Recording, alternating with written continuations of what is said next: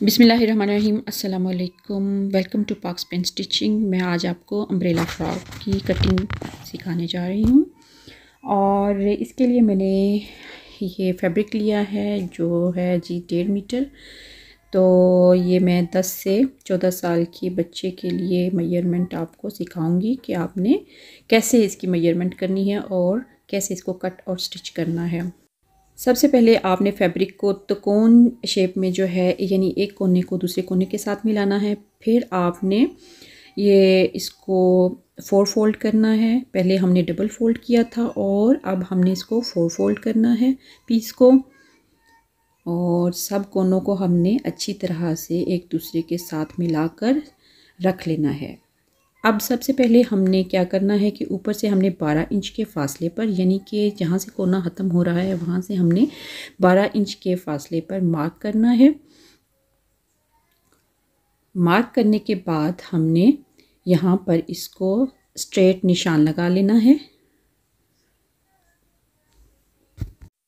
अच्छा सबसे पहले आपने तीरे का निशान लगाना है। तीरा हमें चाहिए है टोटल पंद्रह इंच तो हमने साढ़े सात इंच, यानी कि उसका हाफ़ रख कर हमने निशान लगाना है यहाँ पर।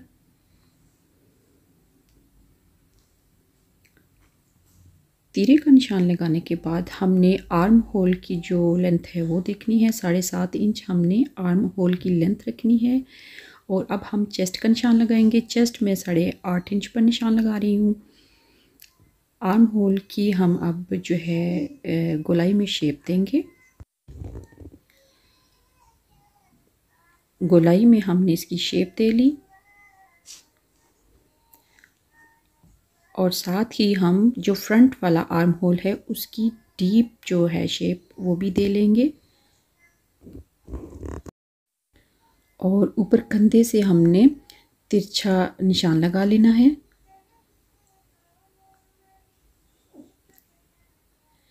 अब हमने ऊपर शोल्डर से लेकर निशान रखना है पंद्रह इंच पर। ये वेस्ट का निशान लगाएँगे हम यहाँ पर। पंद्रह इंच हमने ऊपर से लेकर नीचे तक फासला रखा। और अब हमने इसको स्ट्रेट जो है निशान लगा लेना है। कमर हमें चाहिए है तैयार तेरह इंच। तो मैं पंद्रह इंच पर इसका निशान लगा रही हूँ, यानी कि साढ़े सात इंच पंद्रह का हाफ़ बनता है। तो हमने यहाँ पर साढ़े सात इंच जो है निशान लगा लेना है और हमने चेस्ट के निशान को वेस्ट के साथ मिला लेना है। अच्छा मैं दो इंच जो है सिलाई का मार्जिन छोड़ रही हूँ, इसलिए दो इंच छोड़ा है कि बाज़ात जो है बच्चों की बाद में खुले करने पड़ते हैं कपड़े तो फिर वो अंदर गुंजाइश होनी चाहिए और लंबाई में बत्तीस इंच रख रही हूँ।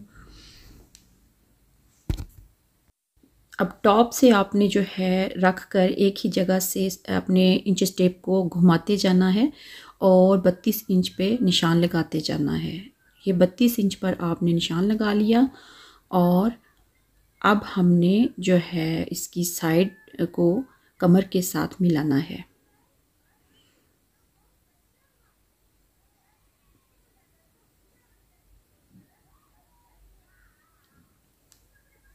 मार्किंग करने के बाद अब हम इसके नेक की तरफ़ जाएँगे।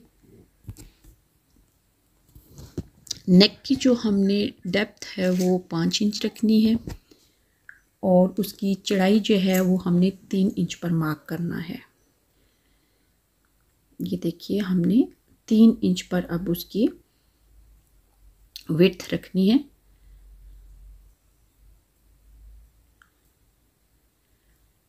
अब हमने सबसे पहले जो है गोलाई में शेप दी है फ्रंट वाले नेक की और अब बैक वाले नेक की हमने शेप दे ली है। और अब हम इसकी कटिंग कर लेंगे। ऊपर से हमने फालतू कपड़ा उतार दिया और जो आर्म होल है, वो हमने जो पहले नॉर्मल निशान लगाया था, उसको कट करना है। और अब हम निशान को फॉलो करते हुए इसको काट लेंगे।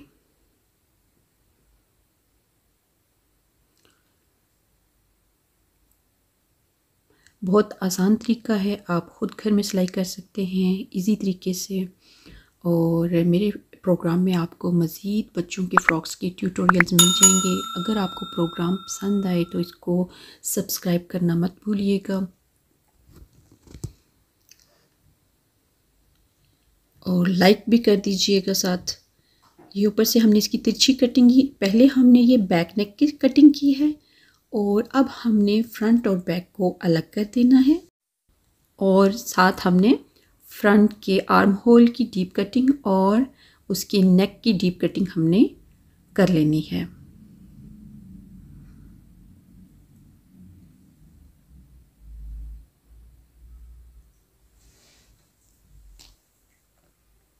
ये साथ हमने जो है फ्रंट के आर्म होल की डीप कटिंग कर ली और जो फ्रंट के नेक का हमने निशान लगाया था, उसको भी हमने काट लिया। अब ये जो कपड़ा हमारा ऊपर से निकला है, इसके हमारे बाजू बन जाएँगे। तो ये हमने बाजू इकट्ठे रखे एक दूसरे के ऊपर और आर्म होल हमने साढ़े सात इंच पे मार्क किया। और सत्रह इंच टोटल ये बाजू बन रहे हैं। ये सिलाई होने के बाद जो है पंद्रह इंच रह जाएँगे।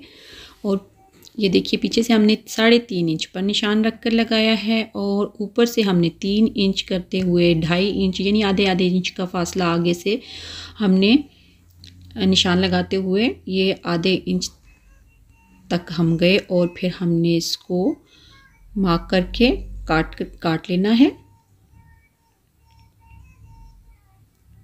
और फ्रंट से मैं जो है, मुझे, मैंने साढ़े पाँच इंच पर निशान लगाया है। मुझे टोटल जो है पाँच इंच चाहिए है। आगे से कलाई तो मैंने पाँच इंच पर मार्क किया और फालतू जो है हमने यहाँ से कपड़ा काट लेना है और साथ ही हमने इसके आर्म होल की कटिंग कर लेनी है।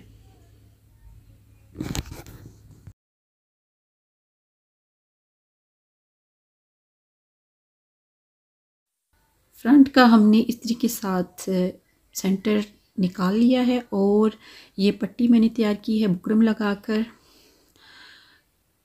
लंबाई में ये है जी तकरीबन साढ़े ग्यारह इंच और सवा इंच जो है ये चौड़ाई में है। तो हमने इसकी साइडों से जो है कपड़ा अंदर की तरफ़ फोल्ड करके इसको यहाँ पर रख कर दरमियान में सिलाई कर लेना है। ये जी। सिलाई करने के बाद हमने ऊपर से ये जो है फालतू इसको काट लेना है ताकि हमारी शेप को फ़र्क ना पड़े। ये मैंने तिरछी पट्टी काटी है और इसको मैंने इस्त्री कर लिया है। चौड़ाई इसकी एक इंच है। इसको हमने यहाँ पर रख कर स्टिच कर लेना है। स्टिच करने के बाद अंदर हमने हल्के हल्के कट लगाकर इसको अंदर की तरफ़ हमने फोल्ड कर लेना है। तो बाकी जो आपको बाजू और बैक नेक वगैरह का तरीका मैं पिछले प्रोग्राम्स में दिखा चुकी हूँ प्रोग्राम को लंबा नहीं करना चाहूँगी। तो ये देखिए, अब हमने बटन लेकर इसकी फ्रंट पट्टी पर लगा लेने हैं। उम्मीद करती हूँ कि आज का प्रोग्राम आपको पसंद आया होगा। पसंद आने की सूरत में इसको सब्सक्राइब कीजिए और लाइक करना मत भूलिएगा। बहुत शुक्रिया। दुआ में याद रखिएगा। अल्लाह हाफिज़।